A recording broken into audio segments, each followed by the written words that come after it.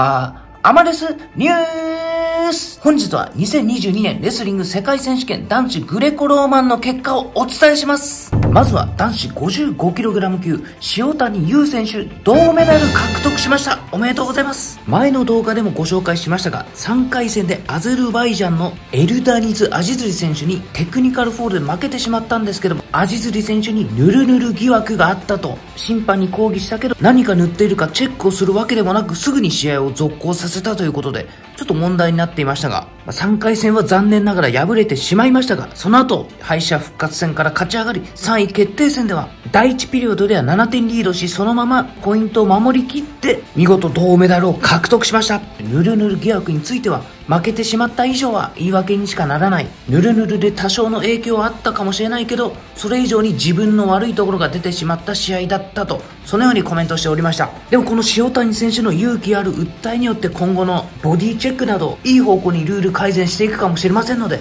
塩谷選手勇気ある行動だったと思います。そしてそれを言い訳にしない塩谷選手本当に人間的にも素晴らしい選手だと思います。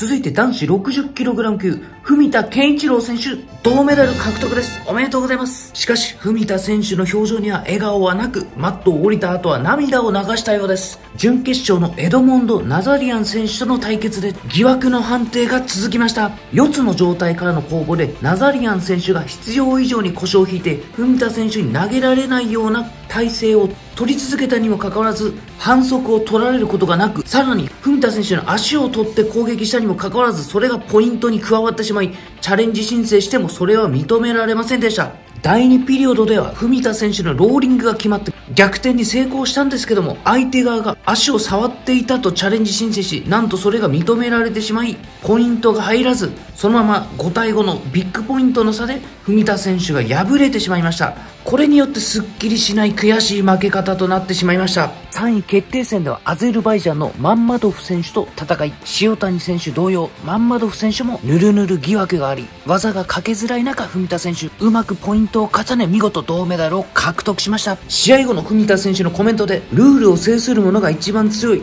闇雲に攻めればいいという時代ではなくなったのかなと痛感しましたとコメントしておりました。いや、文田選手にこんなことを言わせてしまっていいのでしょうか？相手に技をかけさせない逃げ中心の試合になったら、グレコローマンの試合はつまらないと、人気がなくなってオリンピック競技から外してしまおうと、そういったことにもなりかねないと思います。やっぱりグレコローマンの魅力は、攻めて攻めて相手をダイナミックに投げてお客さんを魅了させる、そういった試合内容じゃないでしょうかやっぱり文田選手や塩谷選手がやってるようなもうがっちり組み合ってもう投げ合うという、そういった試合が絶対面白いです。日本レスリング連盟のホームページにも載ってましたが、世界レスリング連盟もこちらの一覧表のように、攻撃レスリングを拒否する異常事態が繰り返し発生していると、胸を合わそうとしなかったり、コンタクトを拒否するようなお粗末な試合結構あったみたいです。今後、攻撃性レスリングを奨励するために、胸と胸を合わせた戦い方を徹底する、そういったテストルールを今後実施していくと、そのように言っていたんですが、今後どうなっていくのでしょうか？その辺どう思いますか？